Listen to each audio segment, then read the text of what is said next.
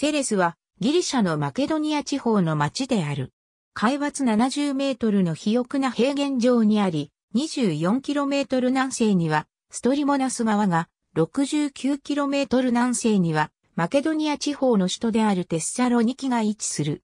また町の北側と東側はロドピ山脈が連なる。セレスは中央マケドニア地方のセレス県の県都でもある。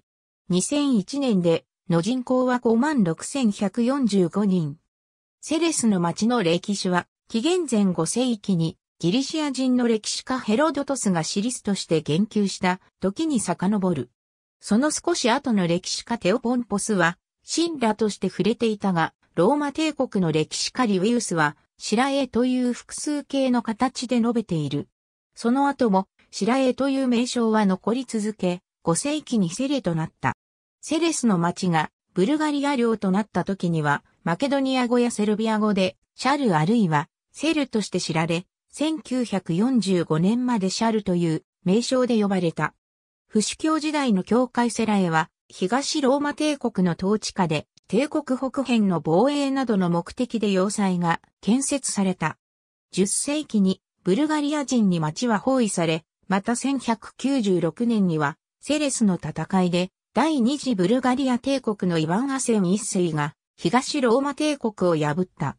また、その9年後の1205年には、ブルガリア皇帝カロヤンがラテン帝国軍を撃退し、セライの町はブルガリア帝国に併合された。1256年に町はニカイア帝国によって奪回されたが、1345年にセルビア王ステファン・ウロシュ4世ドゥシャンに攻略され、セルビア王国の首都となった。ウロシュ4世はこの東ローマ帝国第3の町である。セライの陥落に満足し、自らセルビア人とローマ人の皇帝を名乗るに至った。彼の死後のセルビア王国は混乱状態となり、1356年からは皇后ヘレナがシャル周辺地域を支配した。しかし、1365年にムルナムシェビッチ家の4番ウグリエシャがヘレナを追放すると、シャルに小国家を建国した。1371年のマリツァの戦いで、セライの町は再び東ローマ帝国の統治領となったが、1381年にオスマン帝国に征服された。20世紀初めにセレスは、反オスマン帝国主義者の中心地となり、1903年にイリンゲン放棄が発生した。その後の1913年の第一次バルカン戦争でブルガリア軍がセレスを攻略したが、第二次バルカン戦争ではギリシャ軍が町を占領した。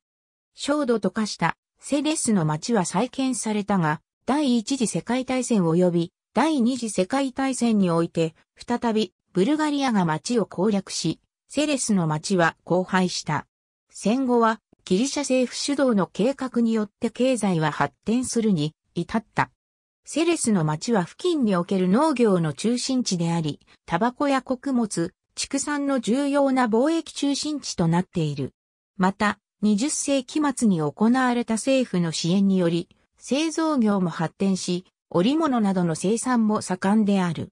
セレス市街セレスでは、ギロピタやスブラキといったギリシャ料理が市内のレストランや酒場で楽しめる。また、アカネスというキャンディーもセレスの名産品であり、20世紀初めに駄菓子屋を経営していたアリスティディス・ルンボースという人物によって考案されたものである。ありがとうございます。